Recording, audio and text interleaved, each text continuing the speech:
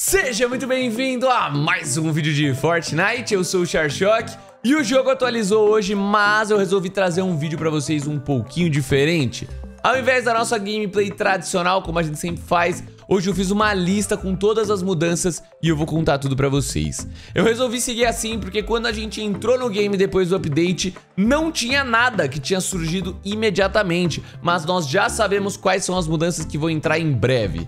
E a primeira que é bem legal é um rádio para chamar airdrops. Ele ainda não tá ativo, como eu falei, mas ele vai dropar de baús normais e você pode usar ele para chamar tanto um drop de cura quanto um carro tunado.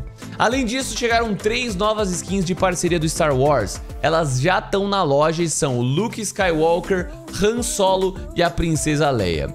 A Epic Games, é claro, me deu as skins aí pra mostrar pra galera, mas se você for comprar, cada uma delas custa 1.500 V-Bucks na loja. E, mano, não esquece de botar a tag SHOCK, S-H-O-C-K, se você for comprar, que é a melhor forma que você tem pra apoiar nosso trabalho. Mas para você que estava esperando coisas de graça, eu trago boas notícias. Uma mochila do Pickle Rick foi adicionada e ela é 100% gratuita. Tudo o que você precisa fazer é completar 8 tarefas no modo Ordem Impetuosa que já tá no game e ela é toda sua. E se você ainda não tá feliz com essa mochila, se prepara porque aí vem mais, mano. A skin do Aboborado Cromado, ele mesmo, também foi adicionada. Os desafios dele aí vão durar até o dia 1 de janeiro, ou seja, você tem exatos dois meses para conseguir pegar 50 níveis de conta.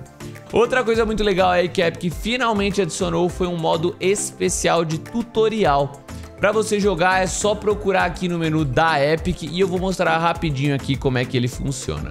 Beleza, entrei no tutorial, use o mouse para olhar em volta, então você tem que dar um 360 Beleza, use o W para se movimentar e chegar ao marcador. Vamos andar até o marcador. Pressione espaço para pular por cima da barreira. Chegue ao próximo marcador.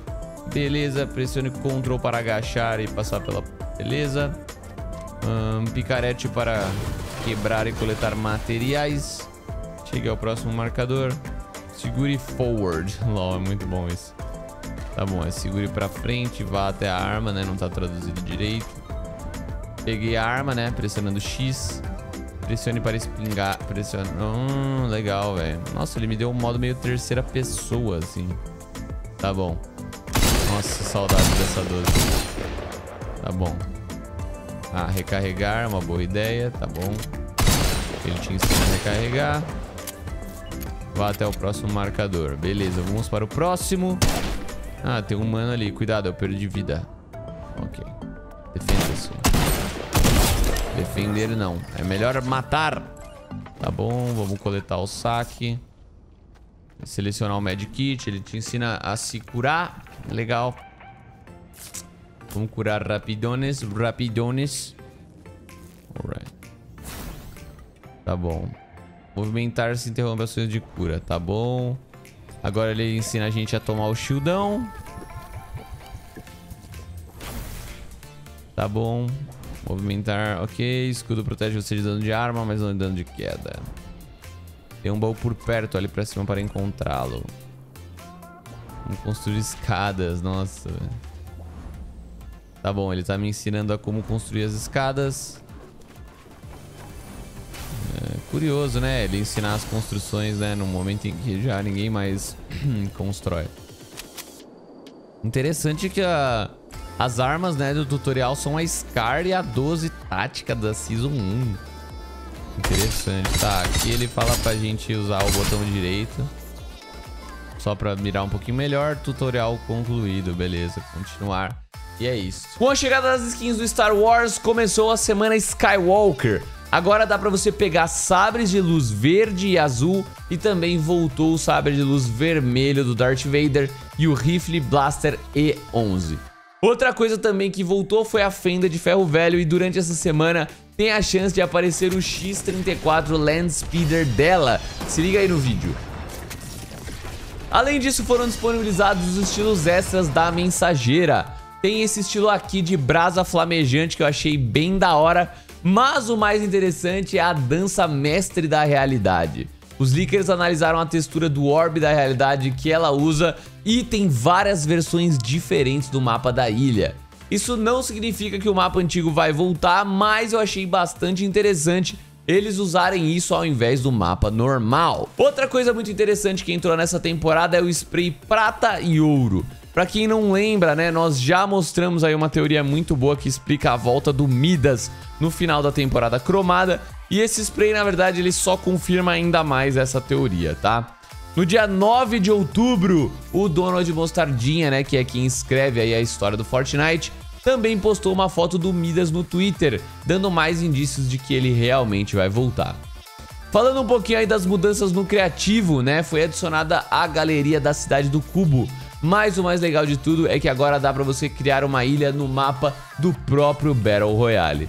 Essa ilha ela não vai ter como colocar código de apoiador, mas ela vai sempre atualizar automaticamente junto com o mapa do Battle Royale e tem até dispositivos próprios para você customizar o mapa. Você pode sim controlar os airdrops, onde os jogadores nascem, o tamanho e as posições da safe e mais. Infelizmente, no momento que a gente está gravando esse vídeo aqui, ela tá bugada, mas assim que resolverem aí a gente manda, né, uma atualizaçãozinha para vocês. O Cromo continua avançando pelo mapa e, pelo que parece, na próxima atualização ele vai finalmente chegar no esqueleto do Catus. Será que nós teremos aí o renascimento dessa criatura? Comenta aí o que, que vocês acham dessa teoria. Pra finalizar, mano, vamos dar uma olhada nas novas skins que foram adicionadas no jogo. Vamos lá, essa aqui é a primeira, né, do Dia de los Muertos. Bem legal, mano. Eu adoro esse tipo de skin. Acho essas skins comemorativas dos Dia de los Muertos muito bonitas. Tem essa skin aí, ó, Aida, né? E olha ela, versão toda Naruto, né? Toda aldeia da fome, mentira. E aí, ó, temos mais uma skin aqui com a franjinha rosa, legal. Tem alguns estilos customizáveis, né, com base em cor essa daqui. Então ela é bem mais customizável e também com embrulho, né? Então é legal porque dá pra você usar bem do jeito que você quer é, essa skin aqui. Tá bom? Vamos seguir pra próxima. Na próxima nós temos aí Glitch. Outra também, né, a versão feminina, também customizável com cor. Também customizável, né, a cor do metal, tal, tal, tal, beleza. Ele, o Hunt Saber, tá bom.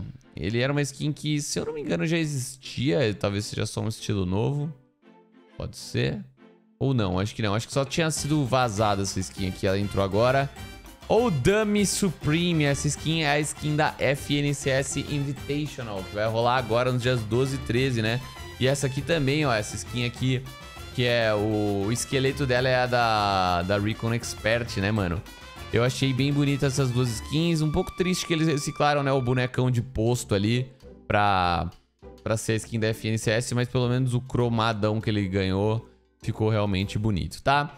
É isso aí, galera. Espero que você tenha gostado do vídeo. Se você gostou, dá o like, se inscreve no canal. Se você for comprar as skins, Code Shock. Eu fico por aqui. Um abraço pra vocês e tchau!